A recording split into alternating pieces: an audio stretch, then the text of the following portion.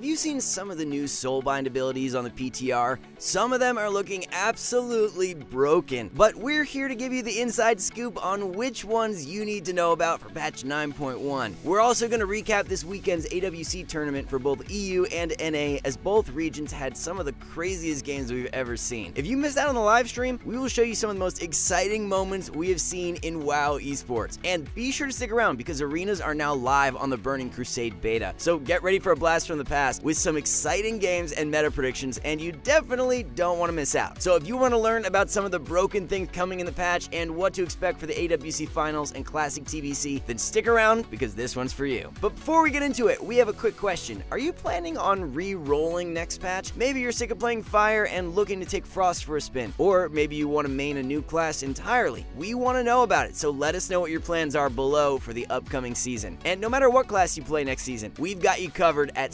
skillcap.com slash wow, where you will find class courses and matchup breakdowns made by some of the best players in the world. Our guides are designed to directly improve your rating and skill in Arena, so if you want to dominate the competition, be sure to check out skillcap.com slash wow today. Starting off, Wowhead has released an updated Soulbind calculator, so if you haven't downloaded the test realm yet, you can preview some of the broken Soulbinds coming with the patch. One of the most broken things we've seen so far is from Niya and her new ability called Survivor's Rally. With mages and warlocks having Night Fae as their best covenant, both classes will be gaining some additional defensive power with this ability. When combined with the buffs to warlocks and frost mages, it is likely going to make Mage Lock an absolutely broken comp. With many players eyeing comps like MLD, I personally have my eyes set on ML MLS, which I predict will be one of the strongest comps in Season 2. The buff to Frost Mage and Destro Warlock damage will be a huge problem when combined with Skyfury Totem. There is also a new end cap ability capped Bonded Hearts, which will passively heal the entire team during the arena game. And if we are able to learn anything from the past, Resto Shamans do incredibly well when they have lots of passive healing on their team. Now that Mage and Lock has some additional auto proc heal, I anticipate that MLS will be the comp to beat.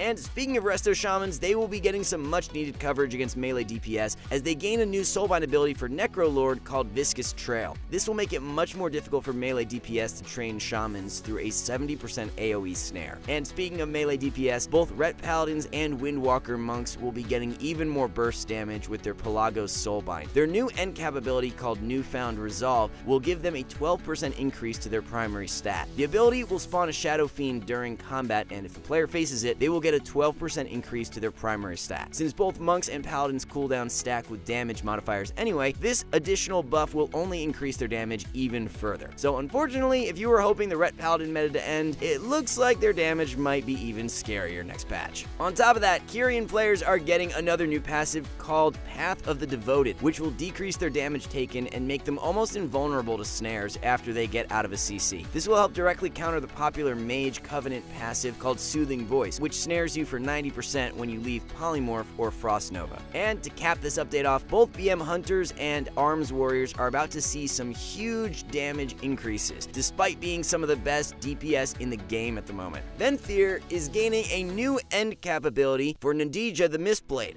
called Fatal Flaw, which will grant them 20% versatility when their Euphoria ends. And while the sustained damage of both these classes is already high as it is, this will make their damage even more threatening, especially during Warbreaker or Bestial Wrath. Moving on, we have some pretty bold predictions as to what comps will be absolutely broken next season. As mentioned, the buffs to both Frost Mage and Destro Warlock will likely elevate both MLD and MLS to high tier status. So if you are waiting for the Wizard meta, this patch is for you. Assassination Rogues are also looking really promising, mostly due to their ability called Hemotoxin. With the buffs to Arcane and Frost, we could definitely see Assassin Arcane be the primary rogue mage comp in the patch. Arcane has been heavily slept on, so for this season, mostly due to how broken Fire has been since the start of the expansion, Arcane is some of the highest burst possible in Arena with its new Arcanosphere ability, and will definitely scale the tier list next patch. Finally, I wouldn't count Warriors and Rets out quite yet. They don't seem to be getting any significant nerfs so far in the patch, so they will likely remain some of the most dominant melee DPS specs in Arena. The only thing that might hold Ret back is the increase of Mage and Warlock spell cleaves that we might see next season. But those are just our predictions, and we want to hear yours, so let us know in the comments below what classes and comps you expect to dominate the ladder next season. This weekend featured some of the best AWC games we've seen so far, as both EU and NA teams battled for the top four spots in the circuit. In Europe, we saw an intense series between Creed and Reload Esports,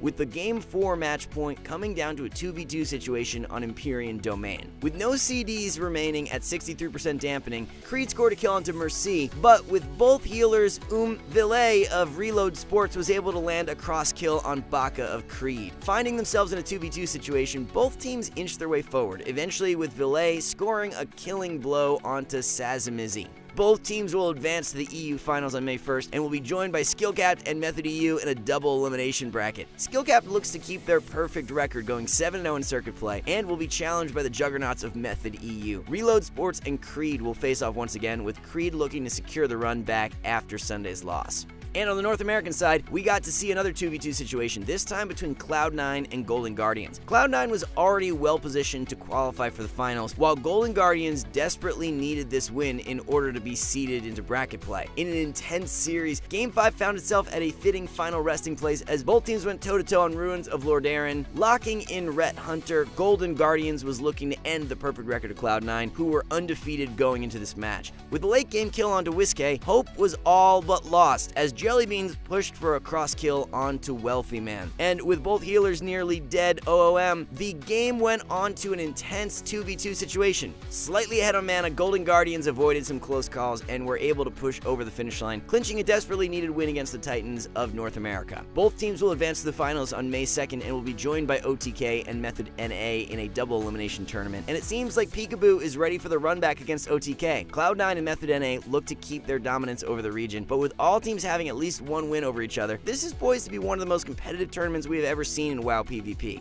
And finally, as of Tuesday the 20th, arenas are now live in the Burning Crusade beta servers. Those of you who are lucky enough to have the BC beta can now make a group to queue arena skirmishes. From some of the games we've seen so far, the meta is surprisingly fast. A lot of people were anticipating that BC games would be long and slow, but currently damage is high enough that most games are lasting under a minute. Of course, that might change once players get more resilience in queuing 3v3, so bear in mind that the games you see on streams don't paint a complete picture of the meta. As predicted, it seems like a lot of players are playing rogues, warlocks, mages, and warriors. Not only were these some of the best specs 14 years ago, but they continue to be quite dominant even with a higher skill capped player base. The damage and control from rogues is almost unmatched, and with debuffs like Wound, Poison, and Mortal Strike giving a 50% healing reduction, we anticipate that the most popular comps will have some combination of these classes. I'm personally looking forward to playing Burning Crusade again as a Resto Druid main, but of course, we want to know what your thoughts are on Classic TBC, so let us know in the comments below. Even if you didn't play 14 years ago, will you be playing BC when it comes out? If you are, what classes do you plan on playing? Will you be a Flavor of the Month PvP or will you stick to your roots? Be sure to tune in next week because we will be giving a complete tier list of classes in TBC. You might have a tier list in mind already, but will it match ours? There might be some sleeper specs that some people are ignoring, so you won't want to miss it. Going back to the year 2021, we will have to see what is in store for the rest of the PTR. It looks like Blizzard is trying to buff some of the underperforming classes next patch, but it seems like many of the most broken specs remain untouched. Once again, we want to keep you all up to date on this patch, so we will keep you informed on any important changes that happen on the PTR and any updates to the Burning Crusade meta. If you found this video helpful, be sure to give it a like, and if you want to stay up to date on any future changes, be sure to subscribe and turn on all notifications. That way, you will never miss an upload. As always, thanks so much for watching, and we will see you soon.